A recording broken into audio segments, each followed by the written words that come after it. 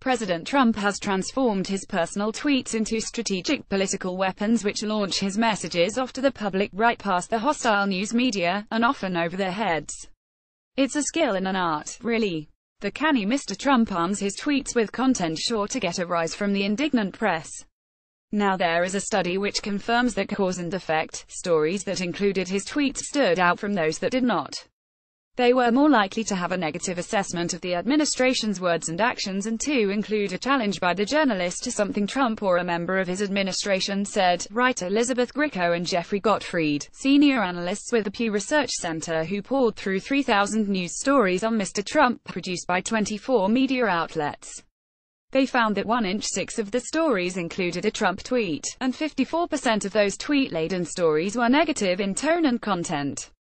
In addition, 1 inch 5 of the tweet stories also contained a direct refutation by the reporter about Mr. Trump and his administration. Amid these differences between stories with and without the president's tweets, there was one notable similarity a large majority of both those with a tweet and those without one structured their coverage around character and leadership rather than policy. However, those with a tweet were even more likely to focus on the president's leadership and character 85% than those that did not 72%, the analyst said. And speaking of fake news let's take one more foray into the dynamic world of President Trump versus the news media, which typically involves high drama, citizen outrage and occasional comedic relief. Nearly half of voters, 46%, believe the news media fabricate news stories about President Trump and his administration. Just 37% of voters think the media do not fabricate stories, while the remaining 17% are undecided, writes Stephen Shepard, chief polling analyst for none other than Politico, which has a poll to share. The new Politico Morning Consult survey reveals that 76% of Republican voters agree that the press invents stories about Mr. Trump 44% of independents and 20% of Democrats, that's one out of five, agree. Meanwhile, a mere 11% of the Republicans think the news media is innocent in the matter, compared to 31% of independents and 65% of the Democrats.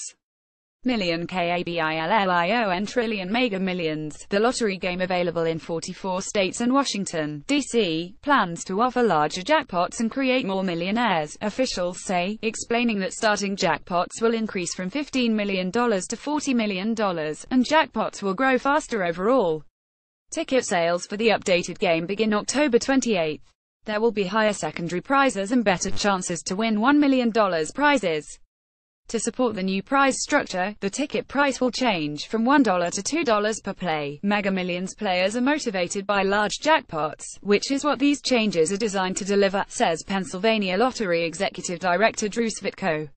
In the updated game, players will select five numbers from 1 to 70, and one mega ball number from 1 to 25.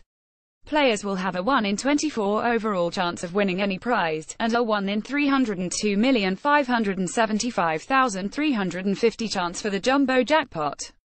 The largest Mega Millions jackpot on record, incidentally, was $656 million in 2012. Points of Light Shinisthy Points of Light Foundation, founded in 1990 by former President George H.W. Bush to encourage the volunteer spirit among Americans, hosts a Changing Lives Through Service tribute and awards gala Thursday in the nation's capital, staged at a splendid embassy to be honored Arnold Schwarzenegger, for his state and global policy work at the University of Southern California Pittsburgh Steelers cornerback Coty Sensabaugh and his wife, Dominique Jordan, founders of the Sensabaugh Mission Moon, a non-profit charity Jack Hanna and his wife, Suzi Egli, both active in wildlife conservation and attorney, former U.S. Ambassador and Special Envoy C. Boyden Gray. The event is hosted by Neil M. Bush, France's Ambassador to the U.S. Gérard Araud, and Mr. Gray. The master of ceremonies is CNN anchorman Wolf Blitzer. And on the menu chestnut soup with little choux pastry, tomato confit and savory parmesan crackers duck prosciutto surf and turf, actually branzino with beef tenderloin and bordelaise sauce, with fresh green beans provençal and pomme chateau little potatoes slow roasted with butter and parsley. Ignoring the Russia bombshell new revelations that the FBI uncovered a Russian bribery plot before the Obama administration approved a nuclear deal with Moscow, that involved millions of kickback money to the Clinton Foundation, have been utterly ignored by ABC, CBS and NBC evening and morning shows since the story broke early Tuesday. In fact, the network evening shows have only spent only 3 minutes and 1 second on the Clinton Foundation scandal in more than two years, writes Geoffrey Dickens, Deputy Research Center for the Conservative Media Research Center. He notes that John Solomon and Alison Spann, the correspondents for The Hill who broke the story Tuesday, did get a cordial welcome from Fox News anchor Sean Hannity.